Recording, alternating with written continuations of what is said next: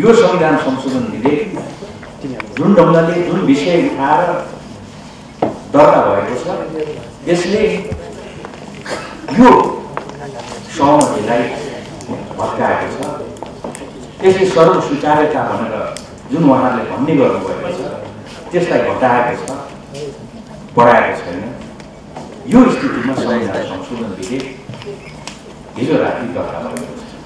कमेडहरू यो हालै संविधानको यसबाट उल्लङ्घन भएको छ यो जनताले मागेको कुरा हो हाम्रो संविधानले प्रष्ट एउटा व्यवस्था राखेको छ त्यो प्रदेशको अधिकार अनुसूचित छमा उल्लेखित अधिकार कटौती गर्नु पर्यो भने काँडछाँट गर्नु पर्यो भने र प्रदेशको सीमाङ्कनलाई परिवर्तन गर्नु पर्यो भने त्यति बेला प्रदेशको सहमतिको आवश्यकता पर्छ त्यो प्रक्रियामा नगइकन संविधान संशोधन गर्न पाइन्छ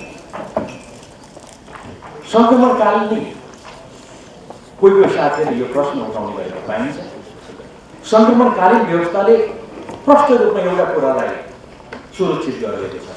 त्यो हो रूपान्तरित संसदले प्रदेशले निर्माण गर्ने कानुन निर्माण गर्न सक्छ।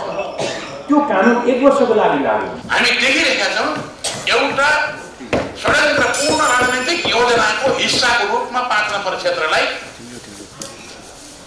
टुक्रा टुक्र्याउनु खोजिएको छ। त्यसको एउटा रणनीतिक षड्यन्त्रपूर्ण रणनीतिक हिस्साको रूपमा यसपटक आएका चारवटै संशोधनहरू त्यस त्यसका हिस्साको रूपमा छन्। सबभन्दा ज्वलन्त पाँच नम्बर क्षेत्रको सीमाङ्कन हेरफेरसित सम्बन्धित छ। एक बजी संसदको बैठक सुरु हुन्छ र त्यो बैठक भोलिदेखि अवरुद्ध हुन्छ। हामी सशक्त रूपमा त्यसको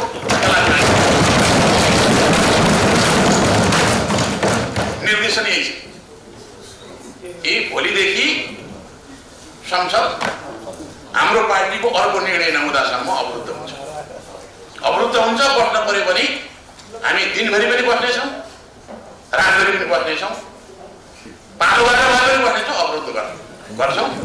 यो अवरोधको निम्ति हामी चाहिँ हामीले के गर्नुपर्दछ त्यो सबै हामी गर्छौँ। तर खुर्सानी लिएर लड्ने भिड्ने काठमार गर्नको निम्ति हामीले जाँदैनौँ अरूले भने जस्तो रगत बगाउने हामी गर्दैनौँ तर हामी